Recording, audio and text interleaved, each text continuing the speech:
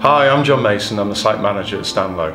This is the first major turnaround we've done as Essar, two years into the Essar world. I just see this as a real watershed moment for us. We've had this ahead of us for so long and it's such a massive uh, challenge. Now we're getting through it and after the turnaround we'll be able to focus so much more on driving this site forward.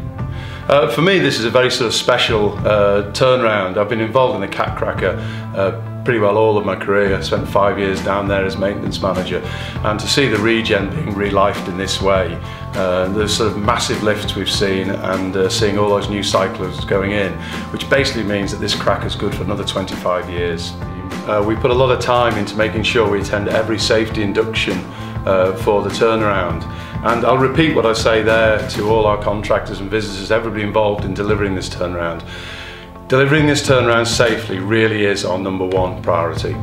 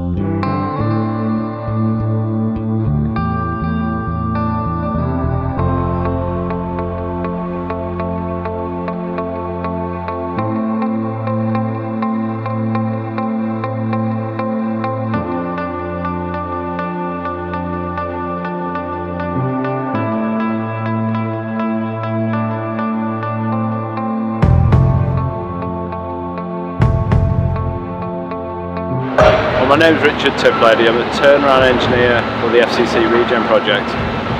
And the role for the last nearly three years of this project has been to assess the constructability, work out how to make the turnaround safer and minimise the risk in the project. A lot of the things we've done involve uh, maximising the pre-turnaround pipework construction that minimises man hours on the turnaround.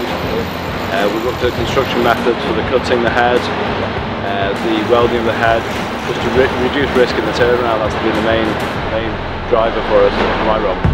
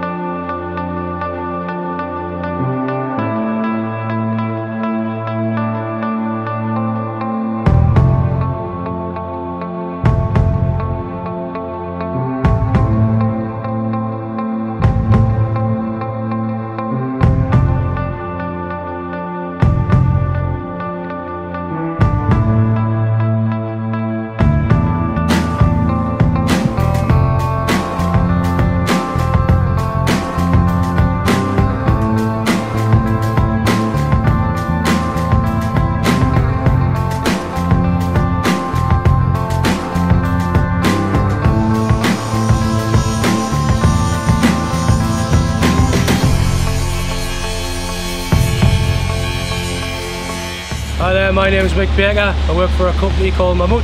Uh, we're a global leader in uh, heavy lifting and transport. We've been on site for six months now, uh, doing the six major lifts for the 2013 turnaround for Essar. Uh, as of now, job's gone really well, it's gone safely.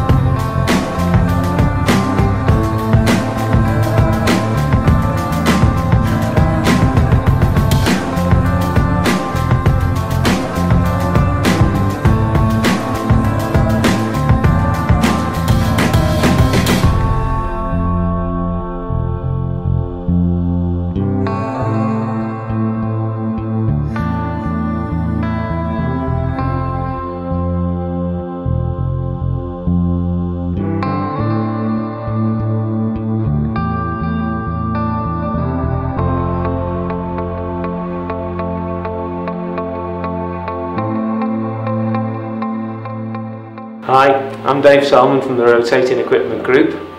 Uh, in 2013 turnaround, we've been involved in major overhaul work on the PRT train. We've been working on the uh, hot gas expander, K2150. We've installed a refurbished rotor into the machine.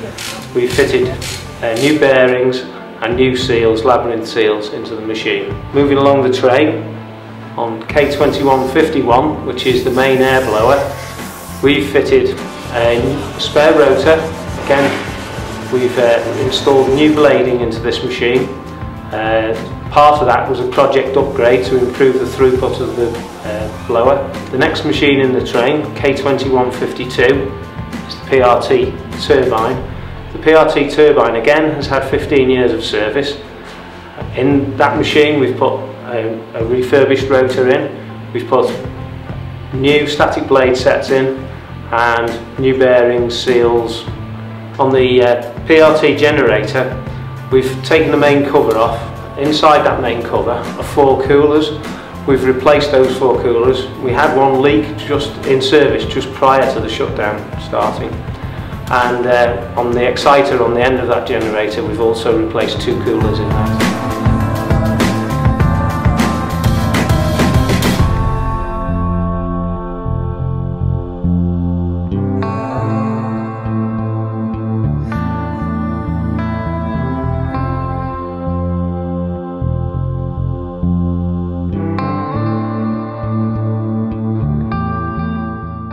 Transport air blower in 2013, we've uh, taken the motor off, sent that away for a full overhaul. The machine itself, the compressor, we've had a rotor change, so we've changed the rotor for the spare rotor and we've changed some internals, check bearing clearances, internal critical dimensions and rebuilt.